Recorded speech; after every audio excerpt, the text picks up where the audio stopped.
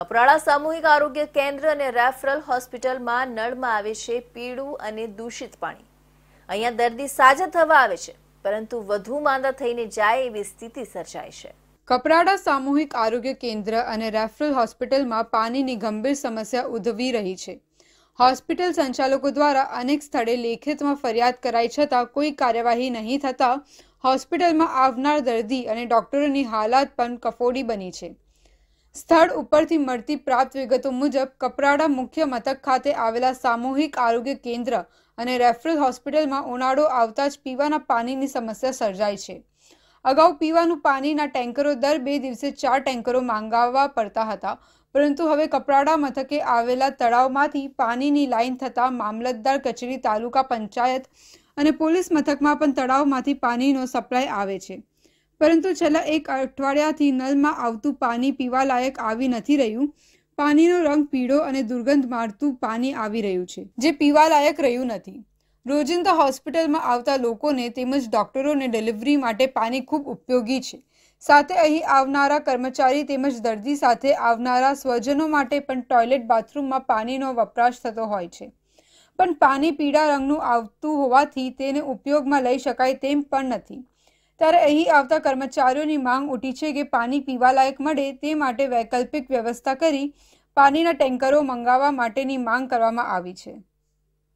એટલું જ નહીં, દર વર્ષે ઉનાળા દરમિયાન ઉદ્ભવતી પાણીની સમસ્યા દૂર કરવા માટે અહીંના સંચાલકો દ્વારા અસ્તોલ ગ્રુપ પાણી પુરવઠા યોજનામાંથી પાણીની લાઇન સરકારી રેફરલ હોસ્પિટલ અને સામૂહિક આરોગ્ય કેન્દ્રમાં આપવામાં આવે એવી લેખિતમાં માંગ કરતો પત્ર પણ પાણી પુરવઠા અધિકારીને હોસ્પિટલ અધિક્ષક દ્વારા લખવામાં આવ્યો છે. તેમજ હાલમાં વૈકલ્પિક સુવિધા ઊભી કરવામાં આવે એવી પણ માંગ કરવામાં આવી છે. નહીં તો અહીં વિવિધ માંદગીની સારવાર અર્થે આવનારા દર્દીઓ હોસ્પિટલમાંથી જ માંદગી મેળવીને પરત જાય એવી સ્થિતિ ઉદ્ભવી રહી છે. હાલે આપણે ઇન્ડિયન ગુજરાતની ટીમ કપરાડા આરોગ્ય ખાતે આવી છે. જે સામૂહિક આરોગ્ય કેન્દ્ર કપરાડા ખાતે જે છે, ત્યાં આગળ ગંદુ પાણી જે આવી રીતે સોશિયલ મીડિયામાં વાયરલ થયું હતું. હાલ તે જગ્યાએ આવ્યા છે અને આપણી સાથે અહીંના જે મુખ્ય અધિકારી છે, એમની સાથે વાત કરીશું.